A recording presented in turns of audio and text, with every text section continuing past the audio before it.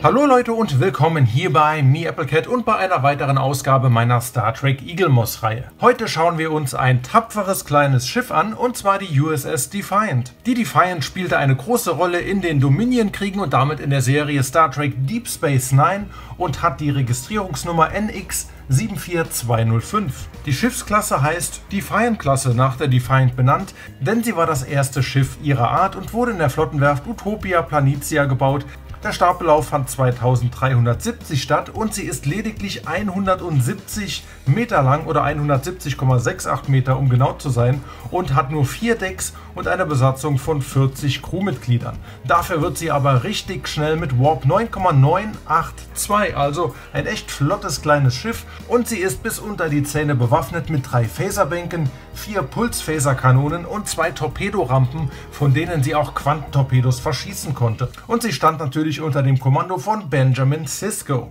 So, Fakten beiseite und dann schauen wir uns das Modell mal im Detail an. Ihr seht es hier schon, wie es in dem Ständer drin steht. Also es wird auch hier am hinteren Teil gehalten und hält auch sehr, sehr fest. Also da braucht man sich keine Sorgen zu machen, dass das irgendwie rausfällt. Hier ist alles bombenfest zusammengesteckt. Gefällt mir sehr gut. Natürlich haben wir auch hier wieder das kleine Schildchen auf der Unterseite USS Defiant NX 74205. Sehr schön. Ich nehme es mal raus und dann gehen wir mal ins Detail rein und fangen am besten an, ja, ganz vorne. Mein Modell kam leider beschädigt bei mir an. Hier vorne der Kopf, der war abgebrochen und hier kann man das schon etwas sehen, deswegen sieht das hier etwas komisch aus. Bei mir, den habe ich festgeklebt, also das war keine große Sache. Konnte man leicht nochmal kleben und stört mich jetzt optisch eher nicht und deswegen ist das schon okay. Also nur wer sich wundert, dass das hier etwas unsauber aussieht an der einen Stelle. Wo ist Metall, wo ist Plastik? Also hier oben der Teil, hier so in dem Bereich, einmal ganz nach hinten. Das ist also alles aus Metall und hier unten ist schon Plastik verbaut. Ebenso hier die Warp-Gondeln, auch die sind aus Kunststoff gefertigt. Und hier vorne das Teil ist auch aus Kunststoff. Also nur hier der obere Bereich, das ist dann Diecast, also der Metallbereich. Und dann fangen wir direkt mal hier bei dem abtrennbaren Gefechtskopf an, der bei mir leider schon abgetrennt war, aber wieder dran sitzt. Dort können wir sehen, dass wir hier vorne die Registrierungsnummer haben, NX74205 sehr klein aufgedruckt und nicht 100% mittig, würde ich mal sagen. Aber dafür ziemlich klar im Druck, also könnte etwas weiter nach rechts sein, aber das ist jetzt wirklich Jammern auf ähm, ja, Millimillimeterchen Niveau, geht so schon völlig in Ordnung. Hier vorne steckt auch die Hauptzielerfassung drin. Und wenn ich es mal drehe, sehen wir dort auch die Hauptdeflektorphalanx. Das ist hier vorne dieser blaue Teil, der ist also aufgemalt, kein extra transparenter Kunststoff geht so völlig in Ordnung. Dann haben wir einmal hier oben nochmal stehen USS Defiant. Dort befindet sich dann auch die Hauptbrücke des Schiffs und da haben wir auch eine schöne, schönes Decal drauf mit dem Sternenflotten-Logo und dieses rote Pinstriping. Das sieht alles echt schön aus und schick aus, passt und ist alles sauber gedruckt, so wie man das eigentlich hier kennt. Gefällt mir gut. Schauen wir uns mal hier die Warp-Gondeln an, denn hier ist transparenter Kunststoff verbaut. Das finde ich gut. Hier dieser rote Bereich, das ist also dann quasi der Bussard-Kollektor. Direkt oben drüber sitzt dann auch eine Torpedorampe und die zweite ist dann hier natürlich auf der anderen Seite.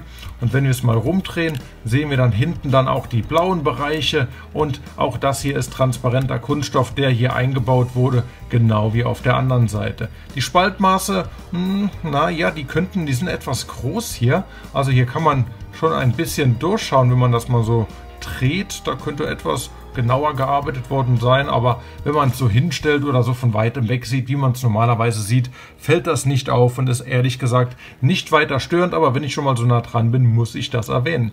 So, auf der Seite haben wir auch nochmal die Schiffsnummer der Defiant und nochmal den Föderationsaufdruck. Passt alles, sieht gut aus und auf der Unterseite, was haben wir da? Auch nochmal hier die Registrierungsnummer und ja, ein paar Kleinigkeiten, ein paar Details, die verschiedenen Panzerungen, die aufgemalt worden sind. Also insgesamt gefällt mir das Modell hier wirklich gut. Und hier auf der Rückseite könnte man ja meinen, die haben hier irgendwie vergessen, die Löcher zuzumachen. Aber es sind tatsächlich keine Löcher. Das ist der Impulsantrieb der Defiant. Sieht etwas merkwürdig aus, als wären da Schrauben drin. Sind es aber nicht. Die Löcher, die sind extra da. Das ist der Impulsantrieb.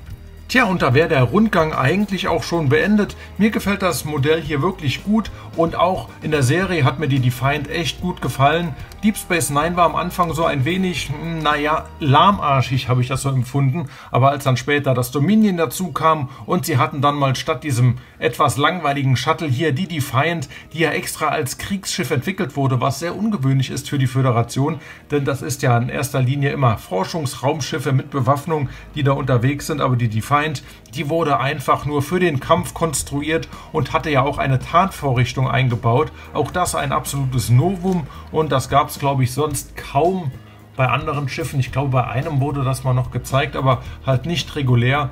Und damit war das hier eine richtig kleine Kriegsmaschine. Und die Defiant hatte auch einen Auftritt in der erste Kontakt, wo sie zusammen mit der Enterprise und der restlichen Flotte gegen die Borg gekämpft hat und ja, sie wurde nicht zerstört, nee, aber sie war stark beschädigt danach. So, ich packe sie mal wieder kurz in die Halterung zurück und wir schauen uns mal das Begleitheft an.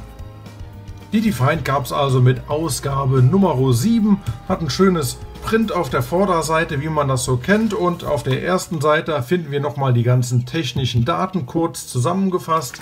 Und als nächstes nochmal ein wenig zur Geschichte der Defiant, dass sie ein Schiff ist, das für den Kampf entwickelt wurde, wann sie zur Serie dazu stieß und, und, und. Das Ganze mit vielen schönen Fotos dann, die hier natürlich drinstecken, wie bei den ganzen anderen Heftchen dann auch. Viele Hintergrundinformationen, aber ich blätter hier, ach schaut mal, hier kann man auch sehen, wie sie gegen die Borg gekämpft hat zusammen mit der anderen Flotte. Das war immer besonders cool. Jeder liebt die Borg, oder? Liebt jemand die Borg nicht? Schreibt es in die Videokommentare. Kann ich mir ehrlich gesagt nicht vorstellen. Die Borg sind cool. So, hier sehen wir nochmal einen Überblick, wo was steht und wo was sitzt. Und hier sieht man auch den Impulsantrieb hier auf der Hinterseite. Und hier sieht man es nochmal ganz deutlich, dass der Punkt hier wirklich kein vergessenes Loch war, sondern der Impulsantrieb. Da habt ihr es schwarz auf weiß. Aber ich will jetzt noch weiter blättern genau hierhin, zu dem interessanten Teil. Design und Entwicklung. Wie hat sich die Defiant entwickelt und welche Schritte gab es dort? Das sehe ich immer besonders gerne. Die hat sich aus einem Runabout-Design entwickelt und wurde dann Schritt für Schritt angepasst in die endgültige Form. Das hier war also ein früher Entwurf und der sieht schon relativ, naja, noch bescheiden aus, aber man kann schon sehen, verschiedene Bestandteile hier vorne. Dieser Einschnitt, das erinnert mich an die NX01 zum Beispiel. Also da wurde das etwas windschnittiger das Ganze gemacht. Und auf der nächsten Seite sehen wir dann die Entwicklung schon etwas näher an das finale Design. Das hier sieht schon ziemlich nah daran aus und endgültig sind wir dann bei dem Defiant Design gelandet. Und das sieht schon echt cool aus. Ich habe das Schiff sehr, sehr gemocht. Also das kann man sich gerne zulegen. Den passenden Link dazu, den findet ihr hier unten in meiner Videobeschreibung, wenn ich einen dazu finde. Und dann ist es wieder soweit. Ich sage Tschüss, bis zum nächsten Mal. Macht's gut.